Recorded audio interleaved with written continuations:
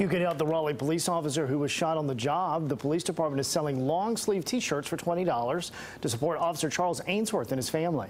The, search, the shirts say keep fighting and Ainsworth strong. You can buy them from the State Farmers Market or the local government credit union on Wake Forest Road.